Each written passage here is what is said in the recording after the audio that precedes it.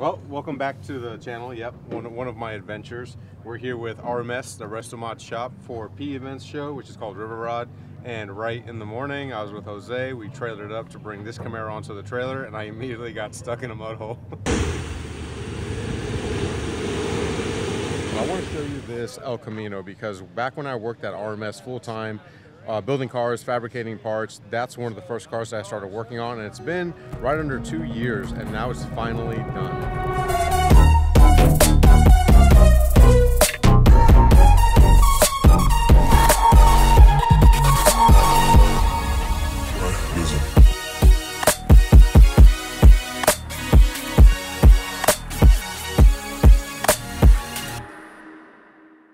All right, so this is your first time at this car show? Yep, first time. This is one of my favorite shows because it's just old school, pure hot rodding. And you're out of focus. There we are. Oh, there you go. And I just love, I just love hot rods. I love American cars, muscle cars, pro touring cars. That's my jam. Uh, so let's play the uh, let's play the game. All right. Go. You get to pick your favorite car. Mhm. I get to pick my favorite car, but it clearly can't be the El Camino or the Camaro because we already know them and we're biased.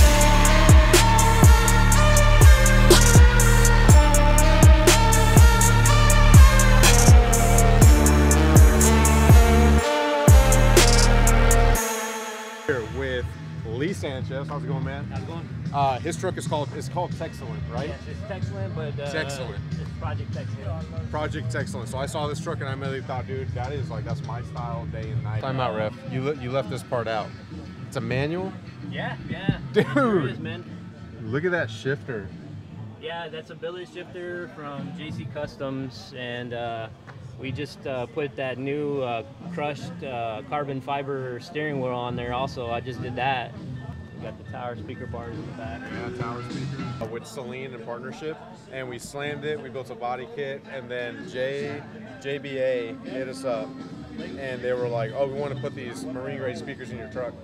Well, they don't fit anywhere, so we built a wake tower that's on the mechanism. So when you roll the tonneau cover up, it goes up. Oh, right on, so man. we I've seen that before. You've seen it? Yeah, yeah. So we named the truck Wake and Bass because you know the the audio. All right, run me through it. What year? What model? What trim? And then all the modifications. It's a 1994 uh, Ford F350. Uh, it's sitting on about a 13 inch lift. Got the 30 by 16 uh, Fittipaldi um, FTF 503s on 42 inch tires.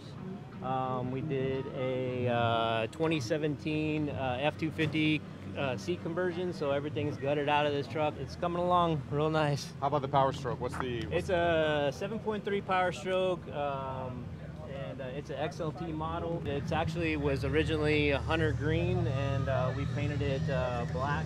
Uh, this looks sexy when it's clean. no, you dude, know, it's sexy so- as hell, dude. Yeah. So hands down, so we're playing the game, right, Jose? Yep, What's absolutely. our favorite build here?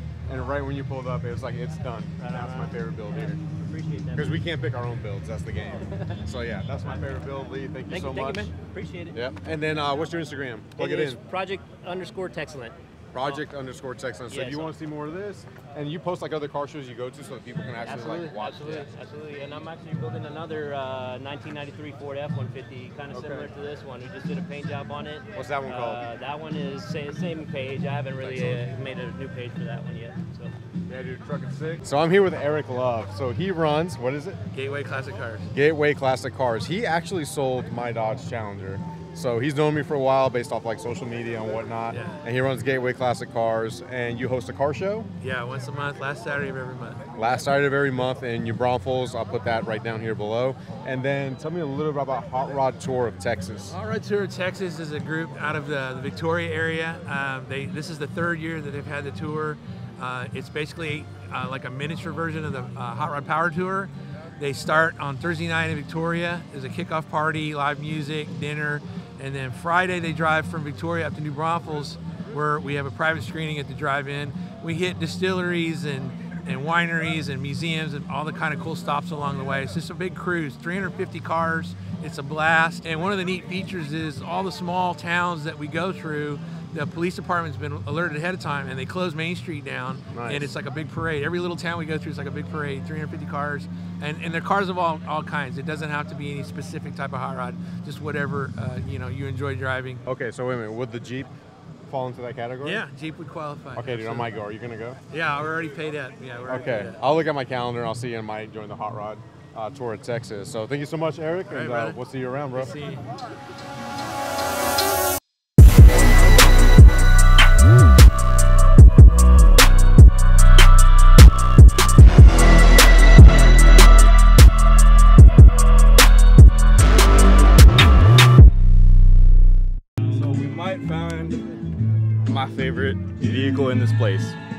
Not this one, so JK. It's over here. Jose, what did you find? All right, so uh, we found this 1973 Datsun 240Z.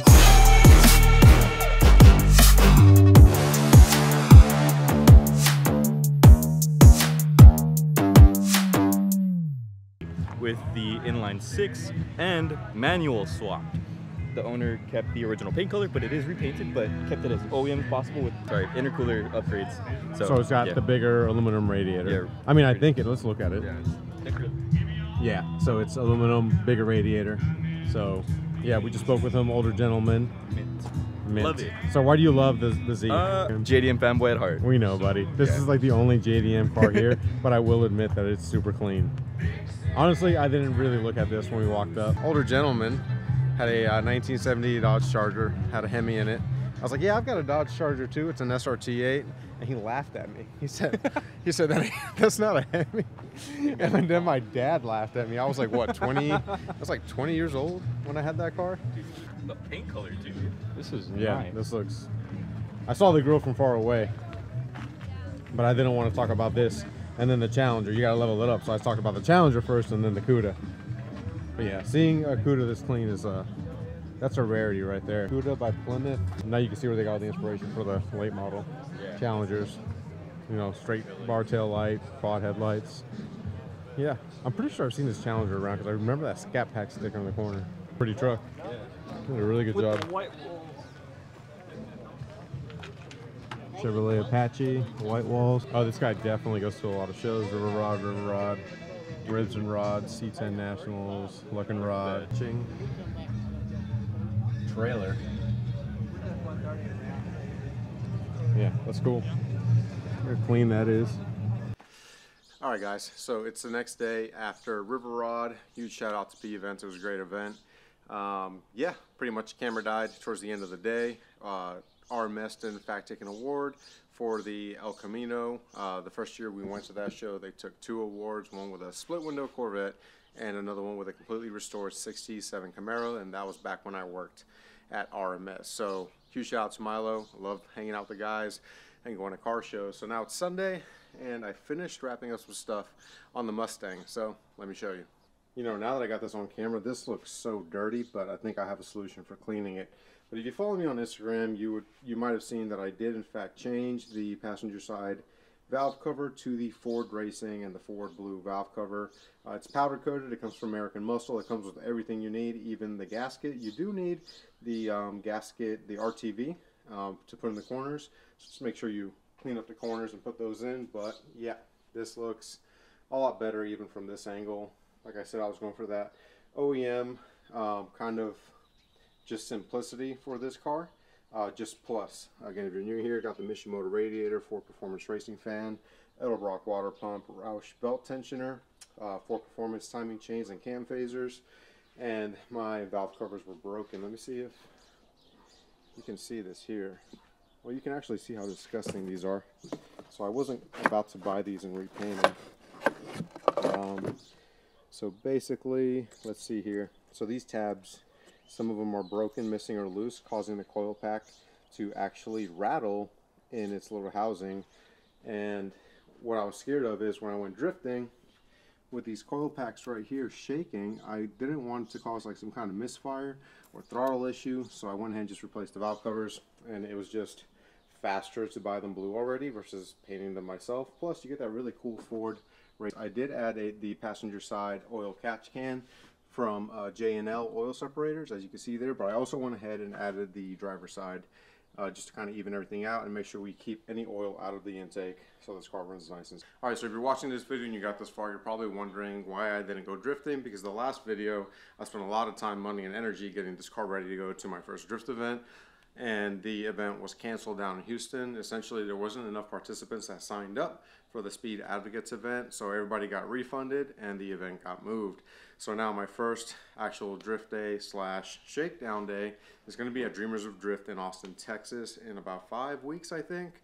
So now I have all this downtime, which my shakedown day was actually supposed to be with Speed Advocates. Now it's going to be the Austin event. So what I'm going to do is actually take this Mustang to Helibad Garage or Jesse at Helibad Broncos, and he's going to be doing the uh, rear diff. He's going to weld the rear diff, and while he's at it, going to add the dual caliper brackets. So we'll be going into it like full-blown modified handbrake, rear diff welded, a little bit of angle uh, angle with the Make It Modular rack spacers, and we're pretty much going to shake down the car and uh, go from there. But all right, guys, if you've made it this far, you've been following me along building the Drift Mustang, then don't be shy. Hit that subscribe button, leave a comment below, and hit that like button for me, all right? This is YouTube. That stuff helps me out. But the, all the coming content with the Mustang is going to be drift content.